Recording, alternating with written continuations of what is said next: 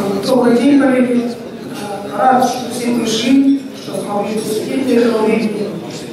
Меня зовут Иван Лысенко, я заместитель директора агросопровождения в компании «Бионователь». Сегодняшняя тема звучит как результаты 2021 года, плана на 2022. Касательно этого я хотел бы напомнить, что буквально последние пять лет не похожи друг на друга. Так сказать, каждый год мы слышим и от вас, и сами вам это говорим, что они аномальные. Они аномальные. Но по факту они не аномальные. Климат меняется. Это уже признано, принято нами.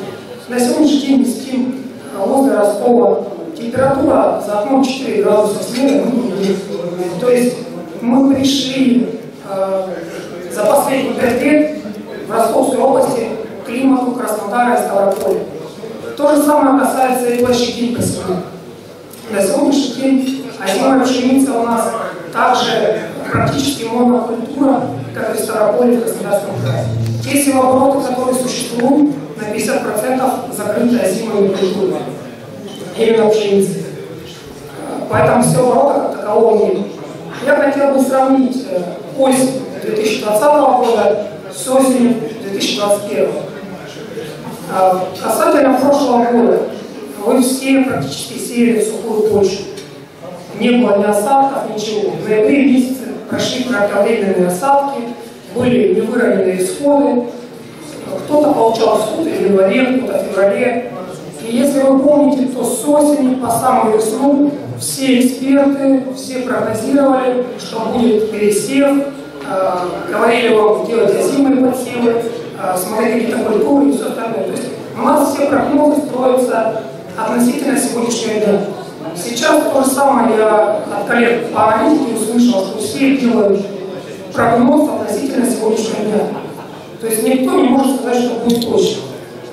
А, касательно того, к чему призывали мы, наш э, отдел агросопровождения, обижая партнеров, говорили, давайте подождем весны, потому что нельзя строить э, будущее относительно сегодняшнего дня.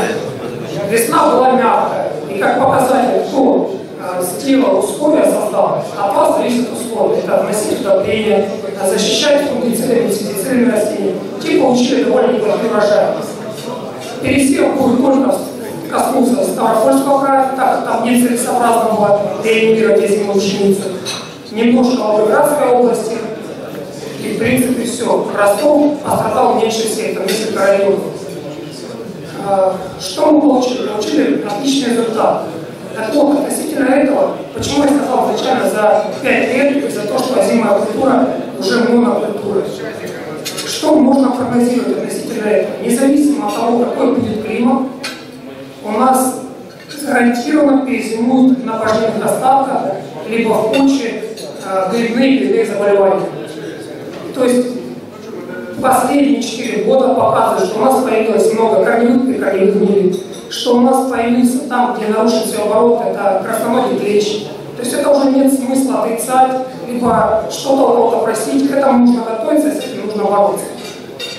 Относительно этого, э, я могу просто поделиться тем опытом, который наша компания применяет для э, экономии вашего бюджета касательно фунгицида. Я слышал здесь рассказывали, что биофрукты работают биопрепаратами, и это позволяет им настроить экономику, снизить затраты, потому что биопрепараты на сегодняшний день в Российской Федерации стоят дешевле.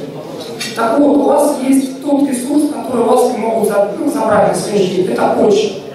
Если коснуться интенсивных э, культур, таких как профтеплицы, там почвы нет. Там выращивают гидропоники, потому что почва это самое сложное с точки зрения дезинфекции, обеззараживания, почва и вода. Вы не можете перейти закрытый грунт, у вас почва остается основ, основным ресурсом, который прощает вам недовнесение удобрений, какую-то легкую халатность. Но также почва накапливает патогенный фон. Что предлагаем? Это в ранний весенний период, когда температура плюс 5, вносить фунгицид органикоид, который работает непосредственно с почвой, подавляя грибную микрофлору. Вы можете его вносить как отдельно, так и носить непосредственно с инсектицидом против того же клеща, которого вы уже начали работать здесь, э, на границе с Краснодарским краем, касательно этих районов. Э, последующее мы рекомендуем применять гербицидную либо в пущении фунгицид Потому что на сегодняшний ни из химических, ни из биологических фунгицидов нет ни одного фунгицида, который может защищать корневую систему на протяжении всей вегетации. А вегетативную массу двух недель.